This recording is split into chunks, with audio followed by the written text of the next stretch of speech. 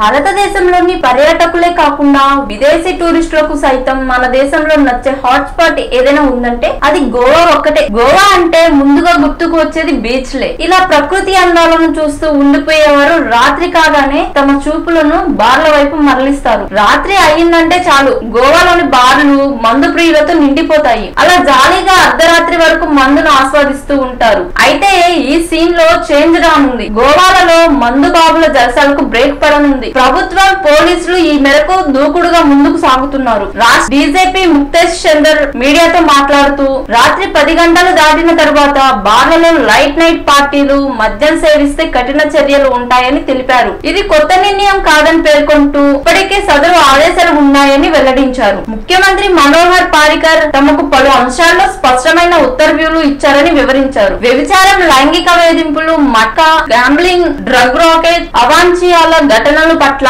కఠినంగా వ్యవహరించాలని సీఎం స్పష్టం చేశారని డీజేపీ తెలిపారు. అందులో భాగంగానే తాము తగు చర్యలు తీసుకుంటున్నట్లు ఆయన వివరించారు. కాగా గోవా పర్యాటక శాఖ మంత్రి మనోజ్ అగ్ననోకర్ తాజాగా మీడియాతో మాట్లాడుతూ గోవా సంప్రదాయంలో తాగుడు లేదని తెలిపారు. పర్యాటకులు వచ్చి తమ రాష్ట్రాన్ని చెడగొట్టేశారని మండిపడ్డారు. ఈ విషయంలో ప్రభుత్వం సరైన నిర్ణయం తీసుకుందని వ్యాఖ్యానించారు. ఇది ఇలా ఉండగా గోవాలోని టూరిజం ఆతిథ్య రంగం మాత్రం ఈ నిర్ణయంపై ఉలికి పడుతుంది రాత్రి పది గంటల గడువును మరికొద్దిసేపు పెంచాలని కోరుతుంది.